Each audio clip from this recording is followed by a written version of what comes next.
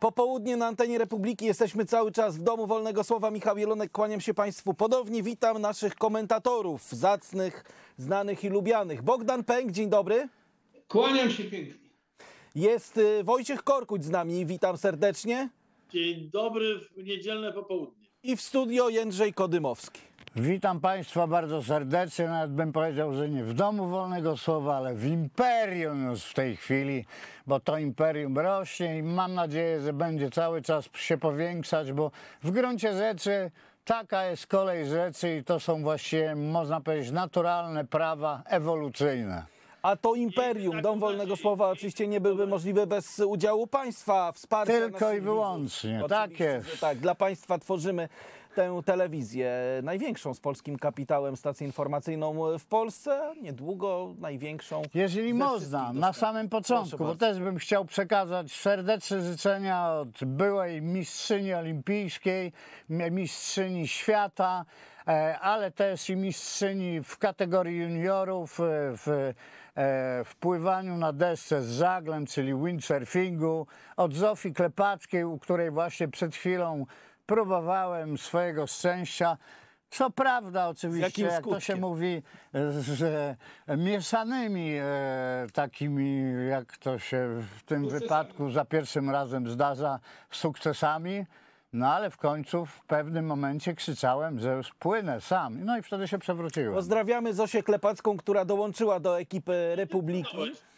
Akwenie? Niebawem, niebawem cykl programów, które Zofia Klepacka będzie dla Państwa prowadziła. No właśnie, I z tego się najbardziej cieszymy. mamy naszą medalistkę, Tak. mamy dziewczynę, która osiągała sukcesy, mamy też polityków, którzy odbierają różne odznaczenia, medale i nagrody. Donald Tusk y, jest specjalistą w otrzymywaniu tych nagród. No tak, ale to nie, po, nie porównujmy tutaj no medali nie na Zofii Klepackiej, porównania, która pracowała całe życie w porównaniu Ale- do medalu, który otrzymał Donald Tusk. No nie jeden A nawet, powiedzmy bo sobie szczerze, że medal- ten medal plus nagroda pieniężna jakoś tak nie- niespecjalnie dobrze świadczy o tej całej rozgrywce. No bo jeżeli słuchajcie, moi szef jednego państwa dostaje nagrodę od szefa drugiego państwa, To o tym właśnie będziemy rozmawiać za chwilę. A, no dobrze, tak, przepraszam. Ale żeby ustalić, jakie są fakty. Wcześniej Donald Tusk otrzymał nagrodę Karola Wielkiego.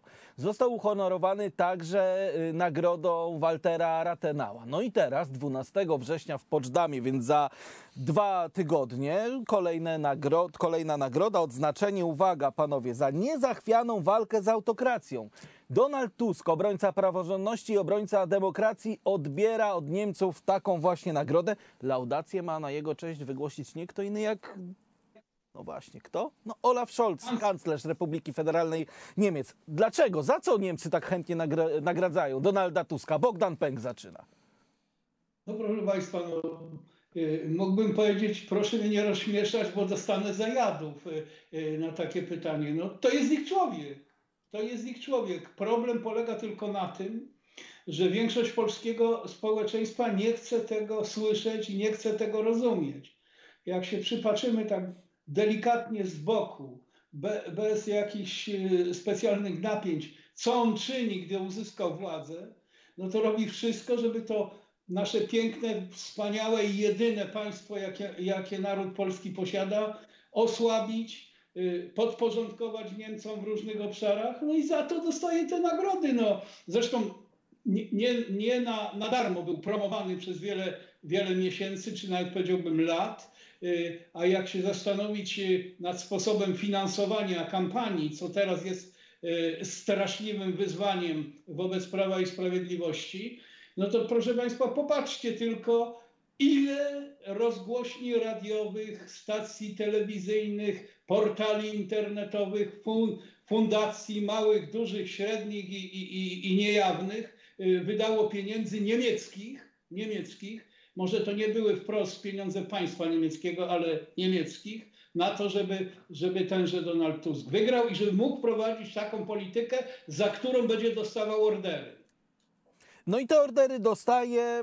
Tu jest mowa o jakiejś walce z autokracją, ale no właśnie, nie brakuje tych opinii, o których także, także które podziela Bogdan Pęk. Bo przeanalizujmy sobie wszystkie te projekty inwestycyjne służące rozwojowi Polsce, rozwojowi gospodarczemu naszego e, kraju. Jakimś takim zbiegiem okoliczności wszystkie z nich są albo zarzucone, albo e, w ich ciągłości nie ma żadnych e, postępów. No i tak się składa, że na tym korzystają nie kto inny, tylko właśnie Niemcy. Wojciecha Korkucia, komentarz.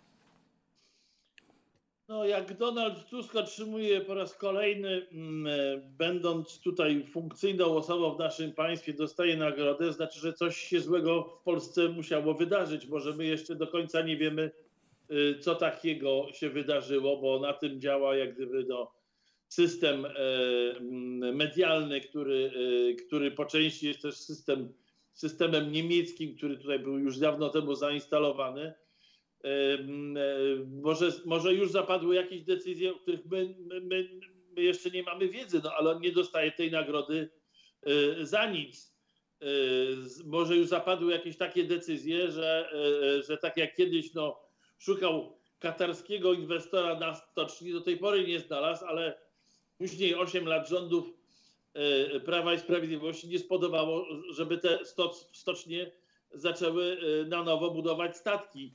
Więc ja się martwię, czy mm, w temacie właśnie PKP Cargo, czy może nawet spraw lotniczych, nie mówiąc już o CPK, czy nie może, może to dotyczy Orlenu, może zapadły takie decyzje, że Niemcy już mogą mu wręczyć nagrodę, że już jest wszystko na takim etapie, już te nagrody on może odebrać. No bardzo mnie to niepokoi.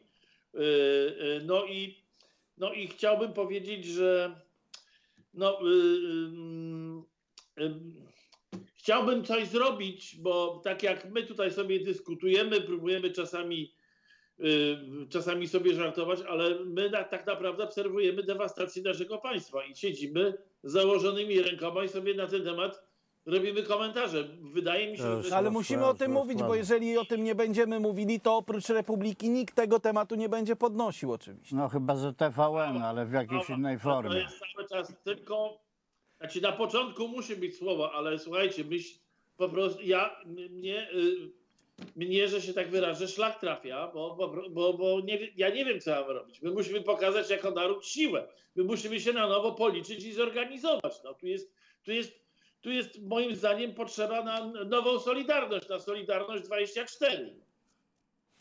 Jędrzej Kodymowski, jak, jak ty, ty No, komentujesz powiem szczerze, że zapowiedzi e, kolejnego troszkę, się, troszkę, jak to się mówi, na ostatni moment tu wpadłem, ale e, w gruncie rzeczy w ogóle dzisiaj miałem taki proroczy sen, zresztą bardzo często mi się e, śni mój, pra, mój, mój dziadek, pradziadek mi się nie śni, bo, bo w ogóle nawet nie, niespecjalnie jak gdyby kojarzyłem tą postać. Wiem, że, że był, że nazywał się Felix Kodymowski, że założył pierwszą straż pożarną, że był w PPS-ie frakcji rewolucyjnej, że był producentem bomb, że miał swoją własną aptekę, zorganizował nielegalne magazyny broni, e, że był jednym z głównych animatorów e, rewolucji 905 roku, która de facto była organizowana po to, żeby Polska odzyskała niepodległość. Jego syn Stanisław, czyli mój dziadek, e, urodziwszy się na Syberii e, w, w czasie, kiedy Polska odzyska, odzyskiwała niepodległość, e, walczył o tą niepodległość w 20 roku w pułkach syberyjskich, które jedyne dostały się do sowieckiej niewoli. E, walczył e, z, z sowieckim najeźdźcą. E, Niemniej jednak faktycznie wykazując się sprytem uciekł e, z tamtej niewoli, co mu zajęło trzy lata. Zresztą nie, nie, nie to chciałbym powiedzieć, znaczy w pewnym sensie rzutuje to na, na to, co teraz chcę powiedzieć, że dzisiaj w nocy właśnie dziadek Stanisław mi się śnił i powiem szczerze, bardzo mnie zrugał używał nieparlamentarnych słów i mówił Jędrek, ty się słuchaj, musisz wziąć za to wszystko, bo na razie to z tymi swoimi znajomymi siedzicie w miejscu, tylko ględzicie, a w gruncie rzeczy nic konkretnego się nie dzieje. Wracając do, wracając do Donalda y, Tuska, no, No, kolejne Donald Tusk- odznaczenia, kolejne nagrody od Niemców e, premier e, dostaje. Premier Mogę to Donald skomentować? Tusk, to właśnie zaraz skomentujemy, ale są takie odznaczenia być może, których jeszcze Donald Tusk w swojej kolekcji nie ma, a o nich mówił premier Mateusz Morawiecki. No tak. Ja mam takie wrażenie, e, panie redaktorze, że w walce o niemieckie interesy polski premier jest bardziej skuteczny niż kanclerz Scholz. E, To tak mogę tylko to skomentować, a w tym kolekcjonowaniu nagród niemieckich to chyba brakuje mu jeszcze tylko żelaznego krzyża zasługi. Wspomniał pan o tej nagrodzie Waltera Rathenau. Ja tylko przypomnę telewidzom, że Rathenau to był ten minister spraw zagranicznych, który z Cicerinem w 1922 roku podpisywał układ w Rapallo, czyli e, można powiedzieć uwerturę do mm, układu Ribbentrop-Mołotow, którego rocznicę niedawno obchodziliśmy. To w Polsce jest e, e, już teraz em, coraz bardziej widoczny autorytaryzm. Jest gwałcenie konstytucji. Właściwie konstytucja już nie obowiązuje. Jest obchodzenie wszelkich e, reguł demokratycznych. Widzimy to dosłownie na każdym kroku. Mm, To jest uwłaczające dla polskiego e, premiera, e, kimkolwiek on by nie był, e, żeby to elity niemieckie jego e, oceniały e, pod kątem takim, czy on robi porządek w polskim kraju. Ja wiem, że może niektórym Niemcom się to podobać, ale sytuacja jest z gruntu chora, jeżeli w taki sposób zachowuje się premier polskiego rządu. Tyle można w tej, w tej sprawie powiedzieć.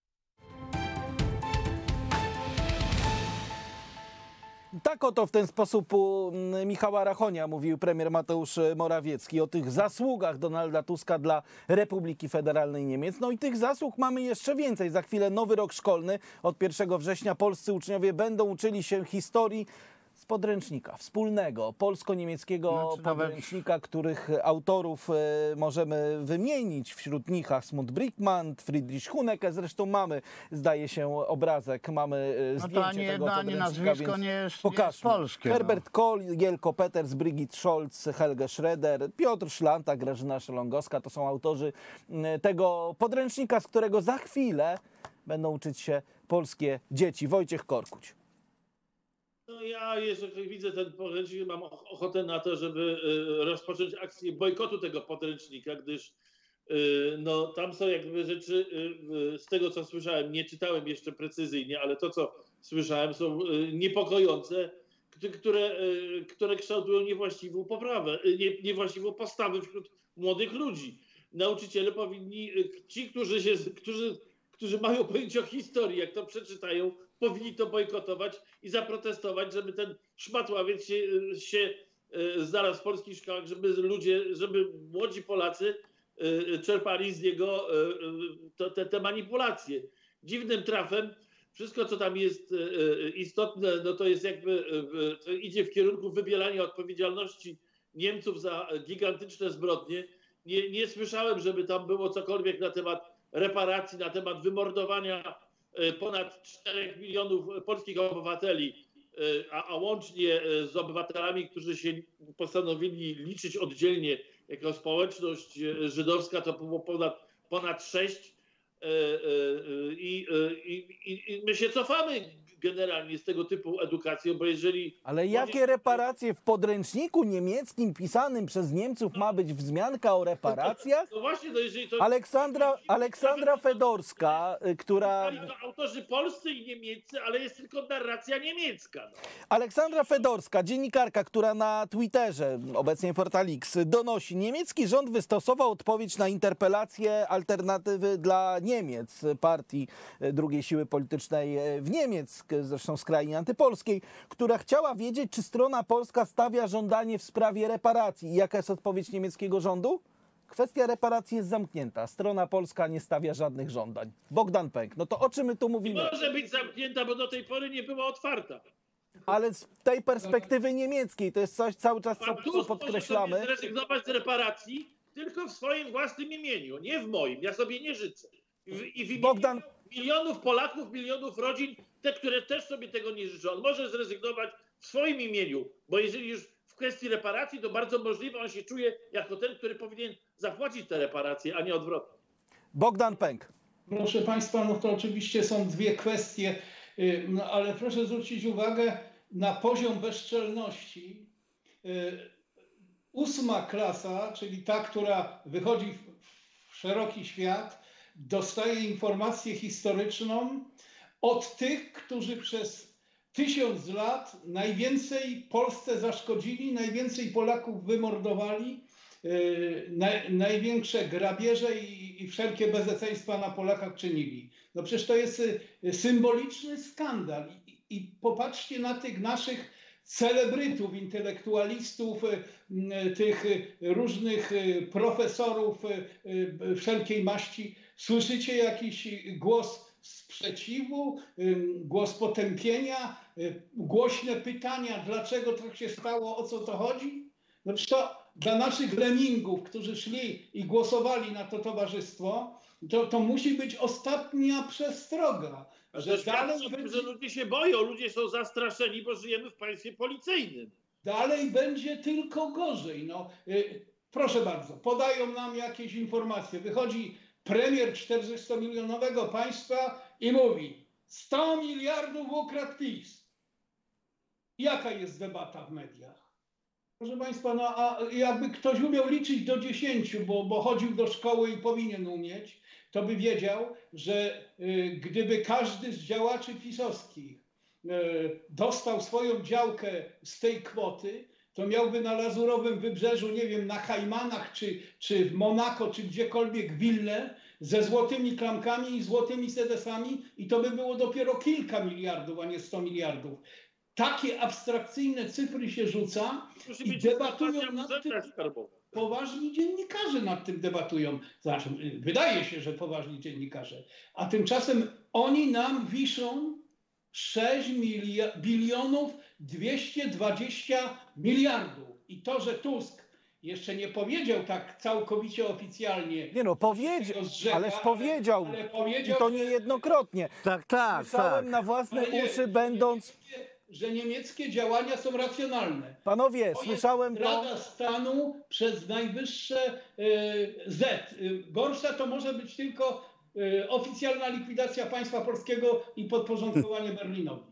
No to ca- z tym się nie można nie zgodzić, ale ja chciałem tylko dodać. Donald Tusk mówił o tym wprost. Słyszałem to na własne uszy, kiedy byłem e, na wspólnej konferencji prasowej Olafa Scholza, Donalda Tuska w Berlinie. Tam padła ta kwestia, że temat reparacji jest zamknięty z punktu formal, formalno-prawnego. Ja dopytywałem wtedy jest na jeszcze- konferencji Donalda Tuska to jeszcze o to, czy rzeczywiście tak, e, ta sytuacja będzie. I to Donald było Tusk przedstawiane jeszcze jako plus. Jak zwykle unikał I odpowiedzi to na było to pytanie, bo bał przedstawiane tych jeszcze jako plus, że Tak, że- tą pozytywną informacją, e, którą, którą e, uzgodnili obydwaj szefowie, to jest to, że reparacje są już jak gdyby poza nami, a teraz ewentualnie e, kanclerz Niemiec, czyli Olaf Scholz, będzie się zastanawiał, czy być może znajdzie się jakiś e, sposób na zadośćuczynienie tym, którzy jeszcze przetrwali wojnę.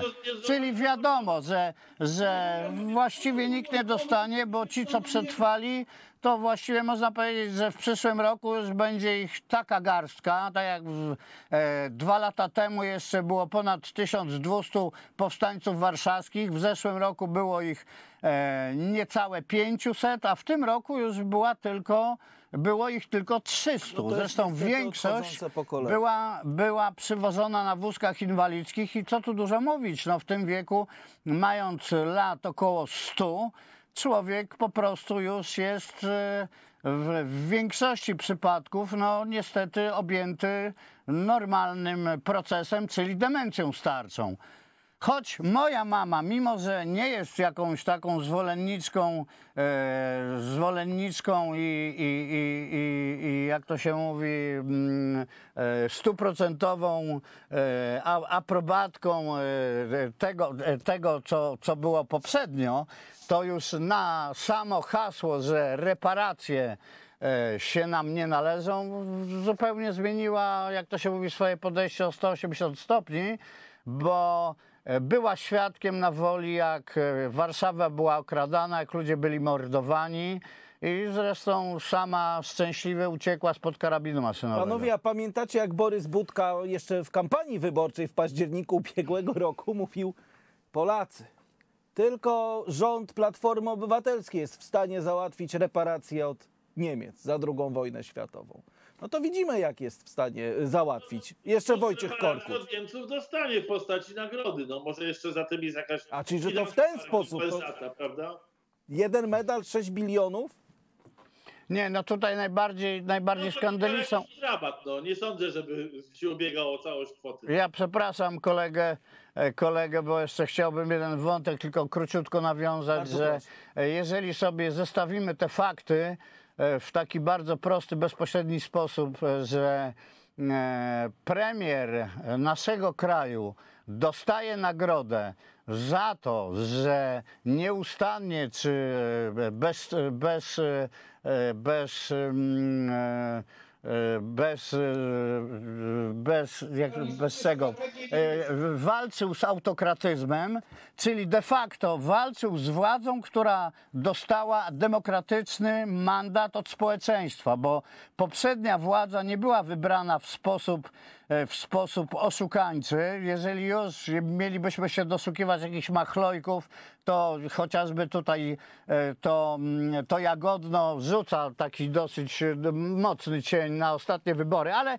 pomijajmy to. Poprzednie wybory były legalne, wygrała ta partia, można ją lubić, można nie lubić, nazywa się ona Prawo i Sprawiedliwość. Przywódcą jest Jarosław Kaczyński, też którego można lubić albo nie lubić, ale tak czy inaczej była to, była to formacja polityczna, która miała jakąś wizję. I jeżeli ktoś dostaje nagrodę pieniężną oraz medal za to, że walczył z tymi właśnie e, ludźmi, którzy zostali demokratycznie wybrani i są nazywani e, autokracją, to proszę Państwa, to, no to po prostu żyjemy w świecie hipokryzji, która, która się w ogóle nie pok- pokrywa z rzeczywistością. 12 września w Poczdamie Donald Tusk będzie odbierał kolejną nagrodę od Niemiec za, tak jak Jędrzej Kodymowski słusznie, słusznie e, przypomina, Najgorsze za są to, że tam są gratyfikacje finansowe. No. z autokracją. I ta laudacja będzie w wykonaniu Olafa Scholza tam również. Może auto, miejsce. ale nie kraczka. No.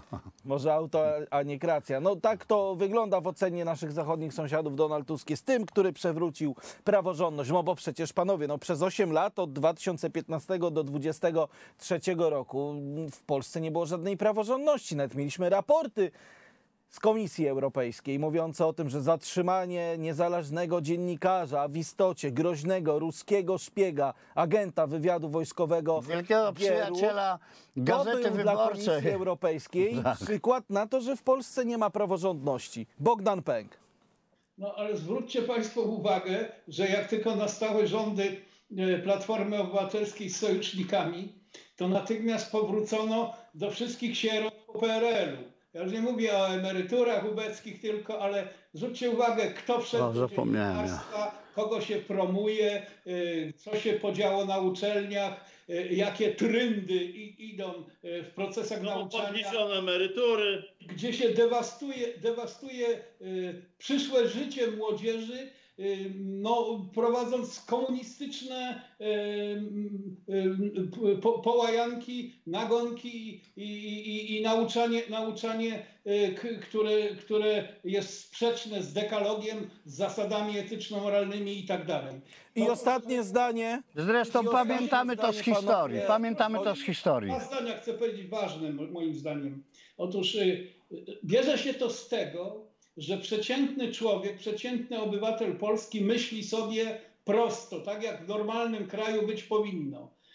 Raz wygrywają jedni, drugi raz wygrywają drudzy i, i prędzej czy później to się wyrówna. Otóż nie, proszę Państwa. Błąd w myśleniu polega na tym, że są dwa obozy. Jest jeden obóz nie to, że doskonały, bo często y, daleki od doskonałości, y, związany z polską suwerennością, z suwerennym państwem polskim, które nie chce się podporządkować niemieckiemu władztwu i tak zwanemu europejskiemu władcu, co oznacza, że niemieckiemu z udziałem Francuzów.